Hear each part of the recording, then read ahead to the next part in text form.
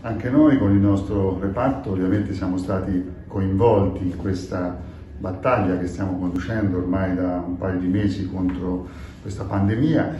e naturalmente questo ha portato dei cambiamenti nel nostro modo di, di, di agire, di pensare, anche di rapportarci con i malati.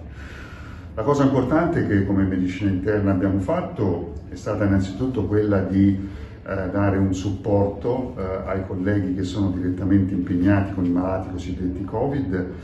eh, e questo l'abbiamo fatto sia inviando proprio delle unità che lavorano con i colleghi pneumologi e infettivologi, ma anche mantenendo un'alta pressione in reparto, garantendo un turnover molto accelerato di pazienti, così da avere sempre una buona disponibilità di posti letto. È chiaro che la tensione c'è, eh,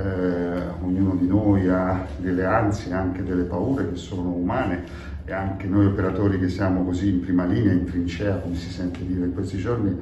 beh, non possiamo negare che eh, delle paure le abbiamo, però questo forse serve anche a darci più carica, più impegno, più energia, più motivazioni eh, e naturalmente sperando che tutto questo che abbiamo messo in campo, e devo dire che la Regione Toscana, la nostra azienda si sono mosse anche sfruttando quelle che purtroppo sono state delle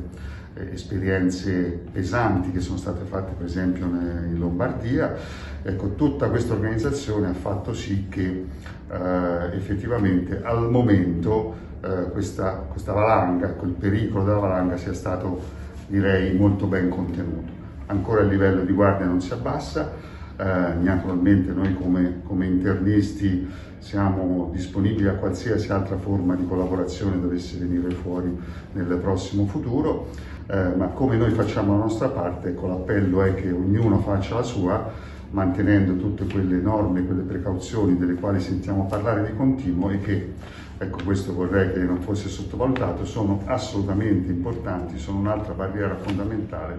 per creare un ostacolo e per vincere quindi questa battaglia che stiamo combattendo tutti insieme.